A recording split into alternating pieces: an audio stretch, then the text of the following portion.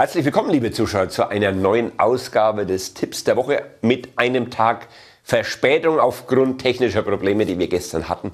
Macht aber nichts, gibt es halt einen Tag später die Empfehlung. Und die lautet heute auf Bayersdorf. Bayersdorf an sich eine ganz langweilige Aktie, aber das ist im Moment gerade gefragt in dem Markt, wo man vielleicht befürchten muss, dass der etwas durchschnauft.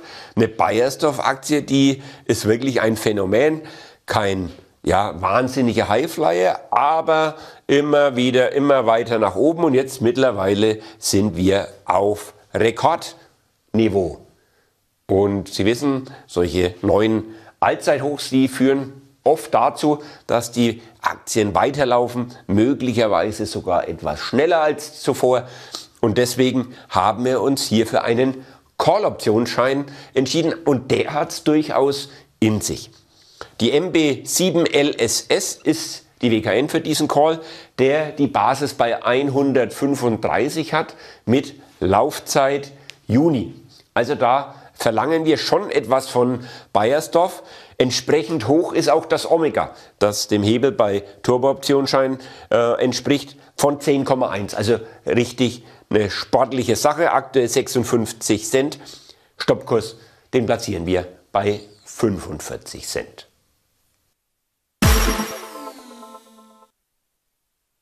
In der vergangenen Woche hatten wir Ihnen ein Produkt auf Jungheinrich empfohlen, auf den Gabelstapler-Hersteller und der hat sich durchaus positiv entwickelt, wie wir hier sehen.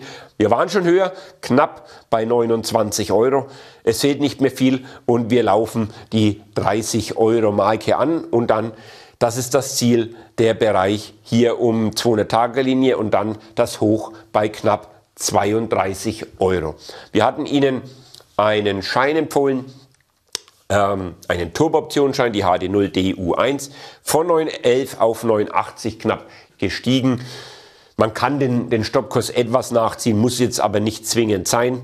Auf jeden Fall sollte man den, das Produkt laufen lassen. Da ist schon noch einiges drin für die Jungheinrich-Vorzüge. Das war schon wieder von meiner Seite. Ich wünsche Ihnen viel Erfolg mit den Empfehlungen. Und ja, in einer Woche, Montag normalerweise, gibt es dann den nächsten Tipp der Woche. Bis dahin, alles Gute.